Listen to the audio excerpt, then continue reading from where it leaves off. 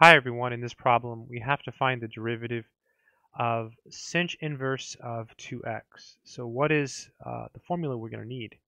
Well, the formula for the derivative of the inverse hyperbolic sine of x, so sinh inverse of x, this is equal to 1 over the square root of 1 plus x squared. So this is the formula that we need uh, for this problem.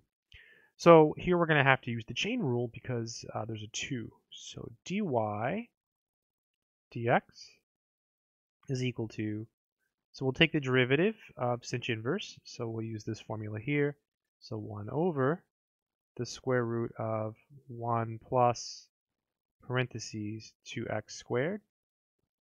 So we took the derivative of the outside, we left the inside untouched, and now we have to multiply by the derivative of the inside. So times the derivative of 2x, which is just 2.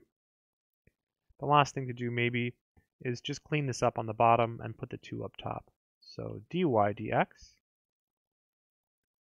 is equal to 2 over the square root of 1 plus, you square the 2, you get 4, square the x, you get x squared.